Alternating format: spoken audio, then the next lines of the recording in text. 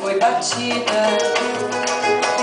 Tinha 25 cruzeiros o seu entrar. 25 eu francamente achei barato.